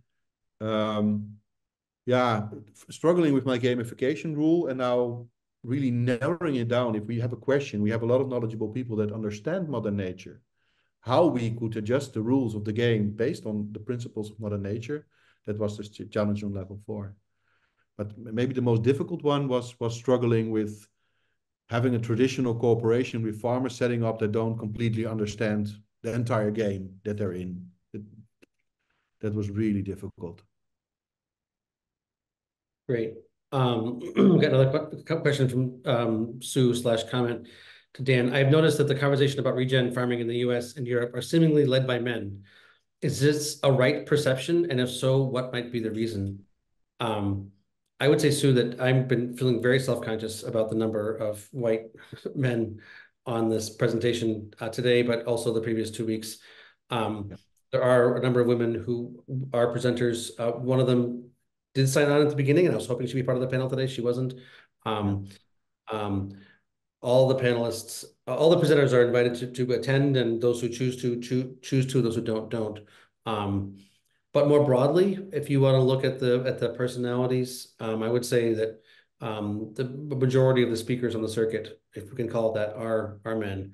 Um, your guess is as good as mine about you know the nature of colonization and patriarchy versus the nature of an essence of a woman and and what that is. I'm seeing Christine Jones, yeah, Nicole Masters, there, you know, Elaine Ingham. There's definitely leaders in the space, but as far as as far as the the the you know the, the majority of the personalities, it certainly is. It is that. Um, I can't say specifically, um, but yes, a good good good question, and I I am very sensitive to the gender balance uh, here right now. I would love it to be more more balanced. Um, yeah. Okay, now we have uh, two questions, one from Ned, one from Henry, that are a bit overlapped. um, Henry asks, in the Netherlands, the bare supermarket shelves was a trigger for awareness and change. What are other triggers? Question mark six three, uh, which I presume he's referring to the omega six omega three ratio. Um, and then Ned asks, uh, question for both Mark and Dan: What is stopping us from using the omega three six ratio in food as a main selling point, and thereby selling medicine instead of calories? Um, and I would say, uh, you know, what's exciting based on where we're at with the beef project and some of the presenters you're about to see about where we're at with the beef project and what we did discuss yesterday last week with Ken is that it looks like we will be in a place to be able to potentially use that as a as a claim that correlates to overall human health, soil health, animal welfare, farm viability, et cetera. And the opportunities around that are extremely significant, um, which, you know, there's it's great to have opportunity, but then you have to actually implement it. So if that were a topic for our wargaming, as it were, of how to use Mark's, you know, brilliant game theory to how to use nutrient density around around the market, I think that would be a great, great, great topic to do that. Um, and certainly, um, yeah, my my wheels are turning on the topic on the on the front, but I think those are that's a totally great call. Any any comment on your front, Mark? Yeah. Um, what is interesting, if you look at the networks of short food supply chains all over the world, so there, your local to local isn't unique. There are thousands of these initiatives in Europe, maybe hundreds of thousands of this.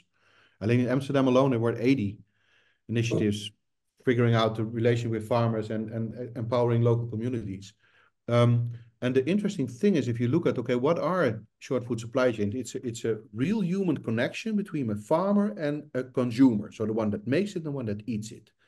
If you look at from it from a clinical perspective, I, I've been a publisher for a medical publisher, and you look at the process of accreditation for medicine, you need A-B testing, blind testing, and you need a sufficient amount of testing that proves the, the medicinal value of a, of, a, of a pill or powder or whatever. And these networks of short food supply chains between consumers and farmers, you can do the same. So if I deliver local food from my short food supply chain to a healthcare institute or an elderly house, and okay, we're not able to test, but we can deliver a, a measured product on a higher nutrient density level than another. And I know one thing that these uh, uh, houses measure like really precisely, that's the intake of medicine, because that is about money and about refunds and, and about subsidies and, and insurance money. So they measure the, the amount of peeing pills, uh, downers and uppers, really precise. So if I can prove that I am delivering this nutrient-dense product to this department for six months, and not to this department for six months, I can fact-based evidence prove that this had an effect on the consumption of pills. And if I do it in one institution, there is, well, there's no evidence. But if I simultaneously, as an ecosystem, do this in 100 times places all over the world and log the data, then you have clinical evidence. And I think the value of the density and the meter and the procedures, and then having change of trust between farmers and consumers to test it, is mind-blowing. So we are able to, we know that we have the evidence there because we believe it and we feel it, it's just logic, but we can prove it. And we can also use it as a, a legal instrument. Why not? So this can be a, a proposed project for our collaboration um, going forward. I would, I would, I would love to natural, all the systems. natural fit for where we stand right now. Um, Yeah. I think it would be a great thing to be, you know, talking to everyone who's in attendance um, about ways they might be willing to engage in what, you know, crops they're producing and, and how we can be marketing and verifying and testing and things like that. I mean, use the, use the community that we are now to, to accomplish that, if that's something of interest to people. Yeah. Uh, fine with me. All right, we've got uh, three questions left and, and four minutes, so I'll just read them quickly here. Um, Riza uh, says, sometimes it can be hard for an NGO to have all the capabilities within this team, fundraising, proposal writing, networking, etc. Do you know of any EU support for NGOs in this sense? Maybe that question also came in before you spoke to what you're doing, because I think um, there was another question Riza asked that I think she would probably want to be talking to you about, maybe since, um, well, talk to We're Mark. setting up a writing office in the in the in the common source structure. There is a writing office. And you have that already in place. Facilitates the process of writing proposals from the the collective, like the level three partners. They work with uh, the writing office. So I can, can if you looked at the presentation and the video in my presentation where I stand for for the screen of uh, the school board, um, with with the uh, I explain it there. And if you want to learn more, reach reach out and I will uh, give you some more information and templates that you need. Or you can join uh, our writing office as well. Yeah. Great. Um, Doug asks, um, or says, thank you. I found the analogy of the plant world with a myriad different organisms that are interconnected quite compelling. I also think it is unique to what I have seen, where most organizations are very compartmentalized.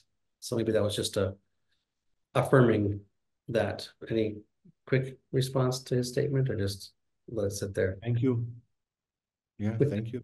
Yeah, All right. help me challenge it because it needs improvement and we need to Yeah. start using it to optimize it and, and get rid of the parasites, predators, thieves, thieves, and understand how we can challenge disease because that that stick to me like okay, uh, can we apply our gamification to to identify this and then figure out how we could well isolate and then kick it out. Yeah. Um, uh, Mario's, you talk about healthy food. How can we make the difference between organic food, healthy food that is used, even nutrient levels are low? I'm not quite sure if I understand that, but maybe that's part of what um, Megan will be talking about at her presentation. Okay, uh, last question here, uh, or Sue, just a comment. We had a Brix reading of um, regen pigeon peas in Kenya of twenty-five point five. Sadly, many of our indigenous crops that are nutrient dense as orphan crops. We plan to use Brix to change this narrative. Brilliant, Sue. Absolutely. Those traditional indigenous, what nature plants is actually what she thinks is best to grow there. And what humans have been working with for a long time is probably a good thing to be doing as well. So, Yeah. um, yeah, hundred percent. Great. Um, any, any, any final, final comments, Mark? This has been a wonderful presentation. Um, I thank you so much. Uh, Yeah, I, I would love to um, to further develop the bionutrient meter as a an instrument of mass creation. Hmm. So let's figure out how we can engage communities through the meter and connect to farmers and get the value in the pocket of the farmer, on the plate of the consumers, and between the ears of the policymakers. And I think we can. Yeah, I'm really privileged of presenting this and you reaching out to me, Dan. So thank you very much. deep, deep respect. And I, I'll only, I'll only say one thing, um, co-creation, a weapon of mass co-creation. I think you've, you've, yeah. I, I always say weapon, eh, because that's my narrative of my game. No, no, no, you, it's from weapon to mass destruction, but yeah, I'm just taking it to the next. Yeah. A mass weapon of mass creation, co-creation. Absolutely. Yeah. Yes. Mark- Let's pull the system instead of fight the system. Eh? That's better. We're all actually humans who most of us have families and and and, and communities and culture and mean well. And this whole us them paradigm is part of the fraudulent paradigm. I know what Mark was saying is yes, there are there are pathogens out there, but I think if we can identify as almost all humans are are deeply aligned and see that light of God in them, if we can say it that way, um, I think we can go very fast, very far forward. So, Lovely. Great. all right. Thank you. I you see a lot of links going on in the chat that that give us some insights and tips. So Yeah. uh, I'm looking That's forward to part them. of the recording We'll as copy well. them. So if you can, we can share them and, and look at them and figure out how can we use this knowledge that's being offered. It's all part of the recording. So anybody who's part of the event gets the recording and all, everything you put in the, in the chat, everyone has access to later. So, yeah, Fantastic. fantastisch. Thank you. Yeah. All right, thanks a lot. Yeah. Thanks, Lars, for organizing them. Yep. Fantastic.